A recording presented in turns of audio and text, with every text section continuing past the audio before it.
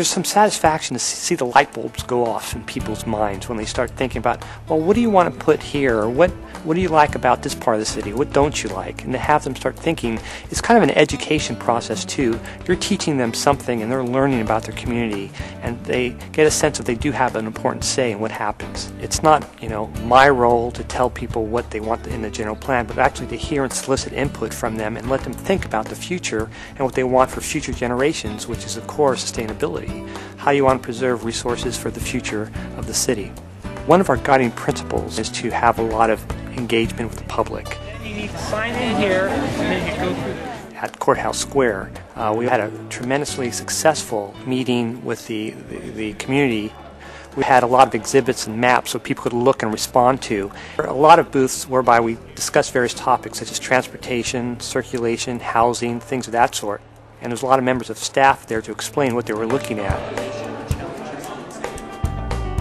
I run a program called the Neighborhood Liaison Program, which is a program that encourages residents to be engaged civically as well as to get together with their neighbors around anything that they're interested in, whether it's a block party, disaster preparedness training, or having their neighborhood go green. And introduce you to your speaker, Ed Everett. He is the former city manager. Community is only built by citizens. Write down what do you complain most about? Just write it down. And At the workshop, people were signing up to become official neighborhood liaison coordinators, which is great. So they're saying that they want to be in touch with their neighbors and they want to get together with them, get to know their neighbors. So just go ahead and put a dot where you think your house is at. It's over here somewhere. We'll offer them a city facility to use for whatever community improvement program, project, or event they want to put on. The idea is to just make positive change. The biggest part about sustainability has to do with educating our residents, and a lot of the residents are passionate about sharing that education, that information that they have, and we're trying to provide them with at, at various levels. It's really exciting and empowering as city staff to see the residents really want to make positive change in the community.